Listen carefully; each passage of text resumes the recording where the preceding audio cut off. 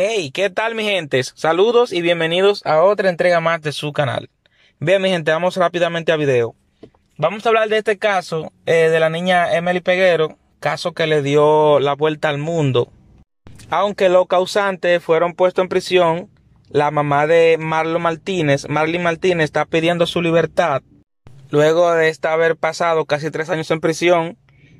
Pero vemos un video donde la mamá de Emily Peguero pide apoyo a la sociedad, la cual ella dice que no es posible que la causante del descenso de su hija ya vaya a estar puesta en libertad. Muy buenas tardes.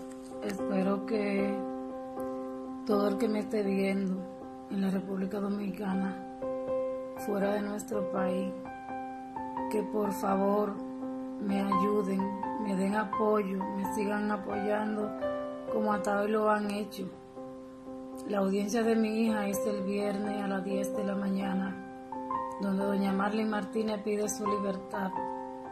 Por favor, le pido encarecidamente que no me dejen sola, que me sigan apoyando como hasta hoy lo han hecho, porque no es justo que un crimen tan horrendo como el que me la hicieron a mi hija se quede impune. Por favor, San Francisco de Macorís, toda la zona aledaña, le pido que me apoyen, que no me dejen sola. Me siento muy agradecida por todo el apoyo que me han dado en mi país y en todos esos países.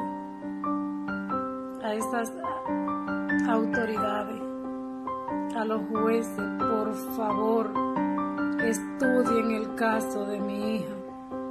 No es justo un asesinato tan vil como le hicieron a mi hija, que hoy parte de los asesinos queden libres